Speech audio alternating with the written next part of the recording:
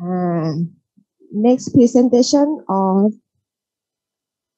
uh, next presentation from demonstration school of Khon Kaen University in the title of investigation of biological property of food extract obtained from unwanted flora to improve natural natural skincare cream prototype uh, by ทิตนาสุดพักดีแอนอนัญญาอุศนคลอง please give your presentation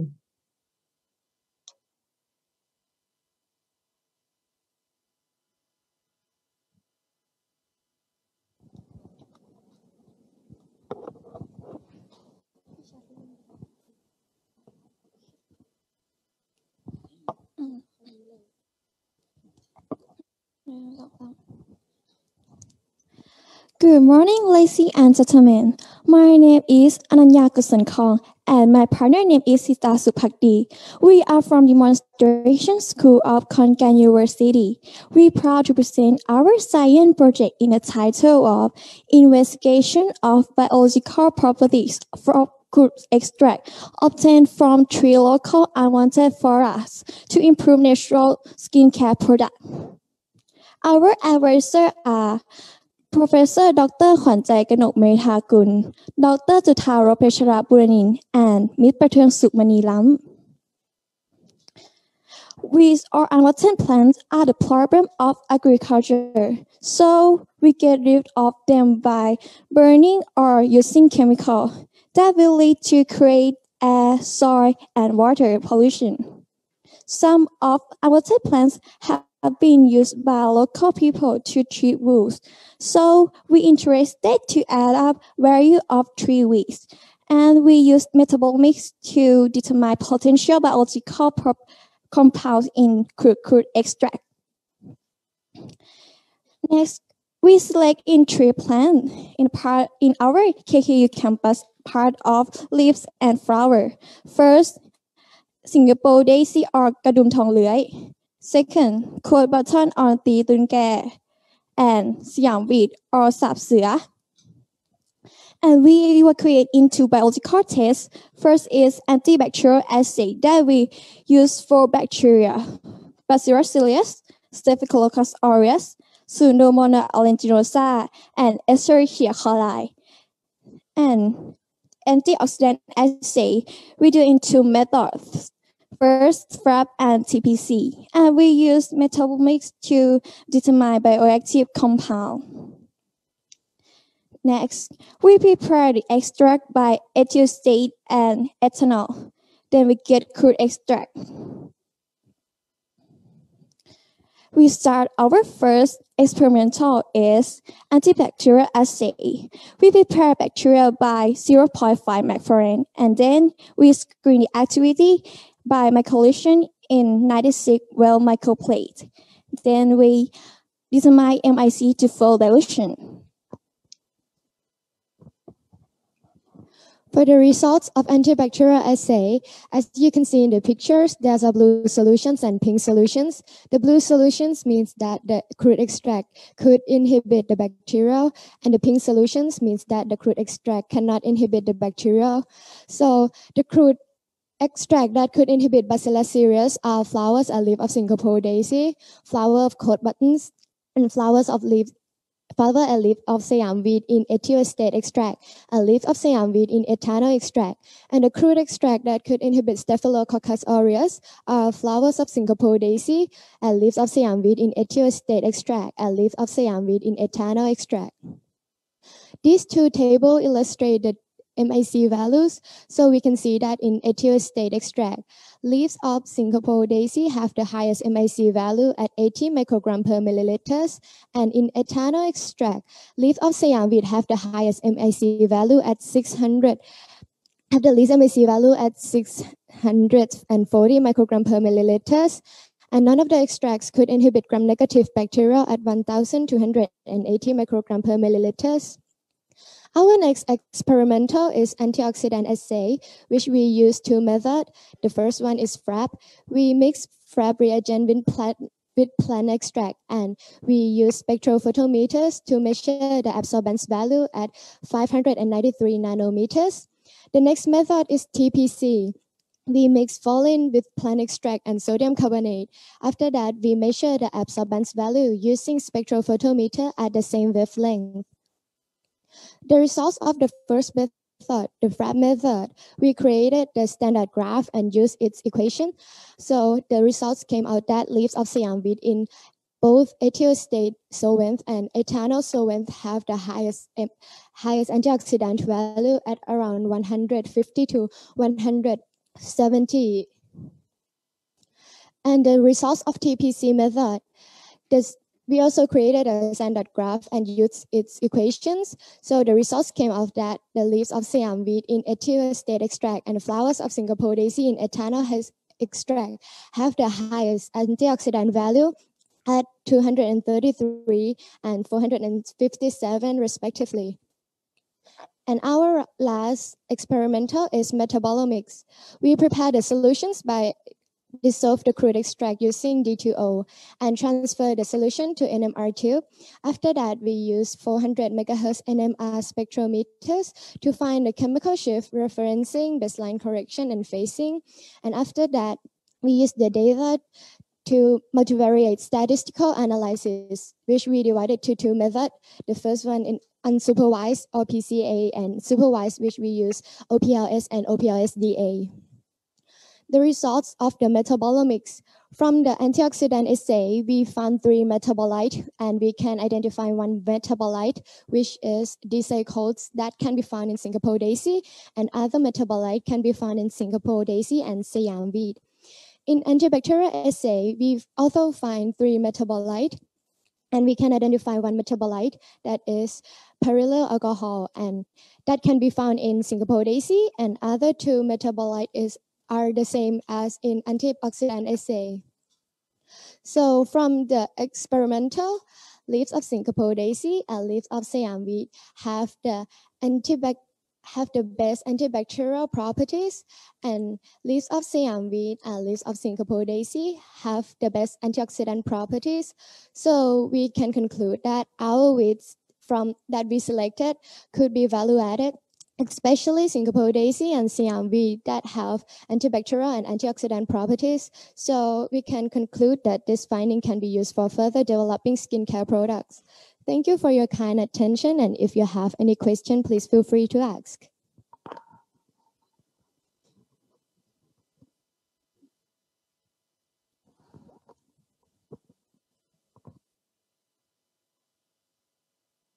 Okay, thank you for your presentation in mitigation of biological property of the close act. Okay. Uh, the first question I mentioned for your plants, why you use this plant for this study?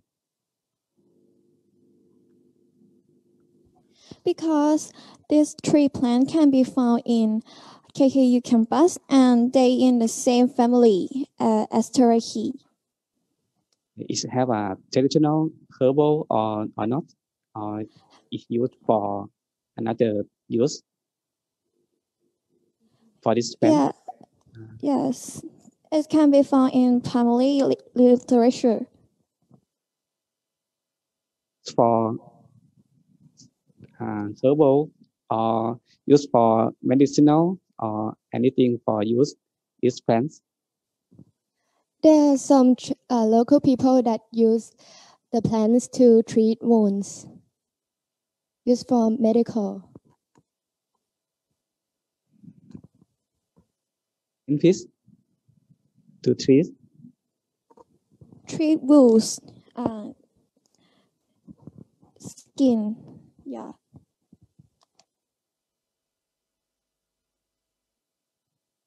Uh, why you do use uh, ethyl acetate and ethanol for solvent for extraction you can use Yes. another solvent Actually, our experimental used three solvents, which are hexane, ethyl acetate, and ethanol.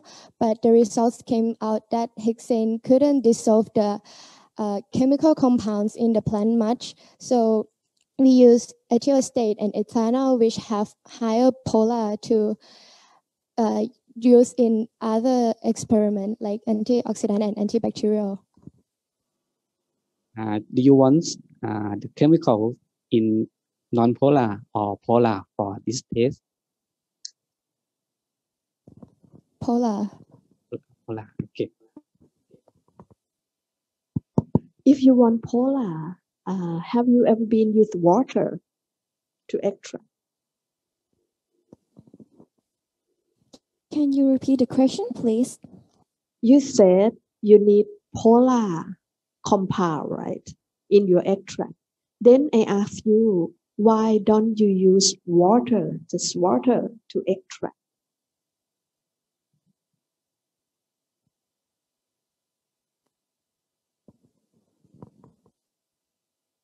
He- Do you hear my question? Yes. You use ethyl acetate, right, and ethanol, and you said these are polar uh, solvent. And I asked you, can I use water instead? Because water also uh, a polar solvent as well. We think that it can be used, but actually, in general chemical laboratory, we u- usually use ethanol for the solvent. But com- compared to uh, the polarity polarity of uh, water, ethyl acetate, and uh, ethanol, do they equal or they are different?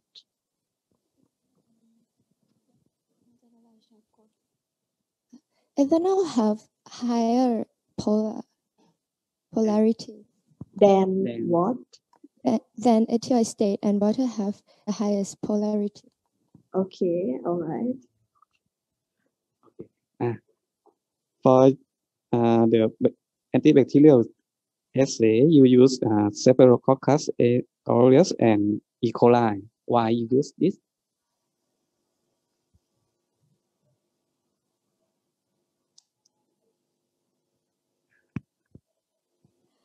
Because uh, Escherichia coli and Pseudomonas aeruginosa as have neg- is negative gram negative activity, but Bacillus and Staphylococcus aureus are in a positive gram negative gram gram positive activity. Why why this bacteria is important for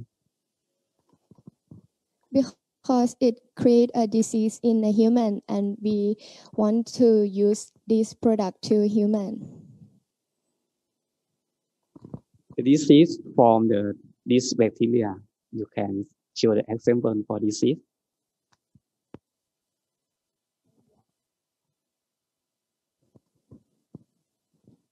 Can you repeat the question, please? Uh, this bacteria is a cause of a disease in human.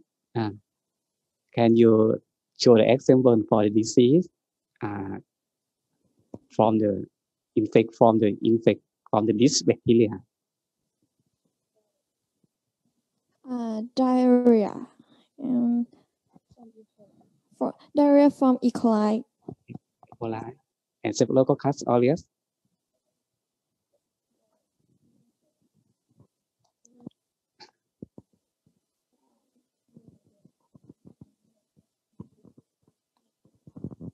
They have some cause on uh, about eating system inside our body Okay, uh, let's take a look at your experimental. In your experimental, you uh, use proton NMR. What's it, it for? What do you want to know from proton NMR?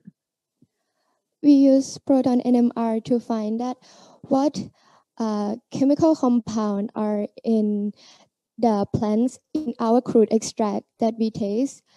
So, and after that, we measure the crude extract with the uh, our experimental, and we compare that which bio, bioactive which compound in the plants is the bioactive compound.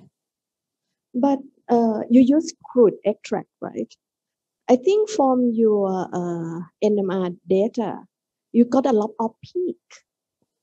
But how can you know that's it the compound that you identify? Such as uh, from your slide, you identify that is blah blah blah this substance. How can you know? Because there's so many peak. We use the data from Proton NMR and we put the data in MATLAB. After that, we made a STOCSY peak and we use OPLS, PLC, uh, PCA, and OPLSDA to find out which, what in this peak, what is this compound. Uh, question for the metabolics. Uh, do you, yeah, okay. How you analyze the met- metabolic from the NMR? Uh, we get the data from the NMR as a peak, right? After that, we use MATLAB to find the STOCSY peak, and we transfer the data to uh, to use the multivariate statistical analysis in another program, and after that, we can compare the peak. So we can get the peak to find the uh, metabolite in the database. So when we get the metabolite, we can just compare which is the same one. And we have to check it again that if this compound have in a plant, Uh, Please, you show the slide number 14 and I'm for uh, for metabolic profile.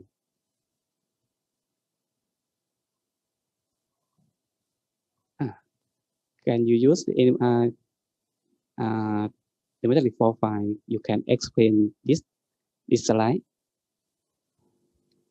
Unknown one, unknown two was what is the unknown one in unknown and unknown two?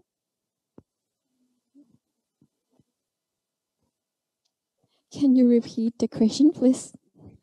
I'm not sure for the metabolic profile. You can identify in the metabolic, and you can identify the because unknown one and unknown two. How to identify these uh, three compounds?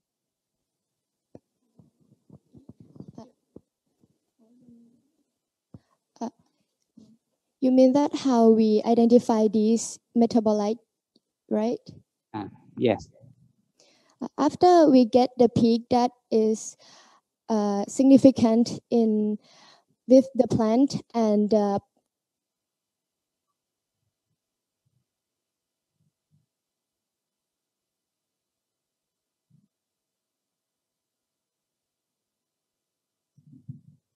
Thank you for a wonderful presentation again.